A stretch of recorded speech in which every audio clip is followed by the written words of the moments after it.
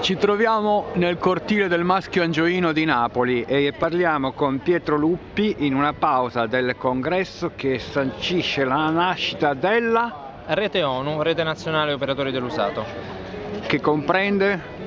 Questo comprende cooperative sociali, enti di solidarietà, eh, case madri di franchising conto terzi, botteghe di rigatteria, librerie dell'usato, mercati storici, eh, fiere e anche rovistatori rom dei cassonetti.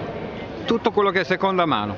Tutto l'usato oh, è rappresentato dentro la rete ONU per quanto riguarda beni durevoli. Eh, voi siete quelli che portano via posti di lavoro al commercio tradizionale e alla produzione di oggetti nuovi? Garantendo però allo stesso tempo livelli occupazionali più alti e riducendo... Come più alti? Eh, nel momento che tu fai riparazione eh, stai eh, conferendo un valore aggiunto a un bene attraverso l'impiego di posti di lavoro e riducendo allo stesso tempo il deficit commerciale con l'estero ovvero è ricchezza, sono posti di lavoro che si generano a livello locale, non si tratta quindi di beni nuovi e importati eh, come succede sempre più spesso dall'estero, da paesi extraeuropei, non si tratta di materie prime. Questo settore come si potrebbe espandere?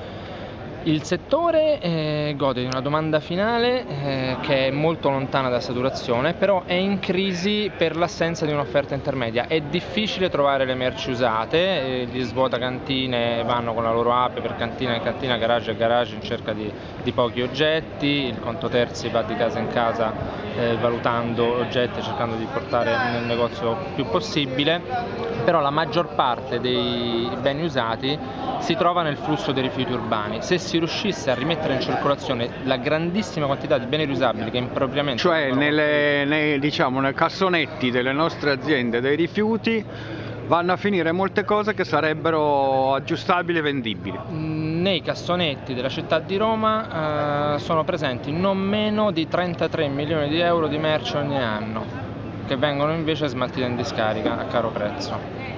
E cosa bisognerebbe fare? Bisognerebbe rimetterli in circolazione, creare un'offerta intermedia, venderli agli operatori dell'usato che sono smaniosi di poterli acquistare.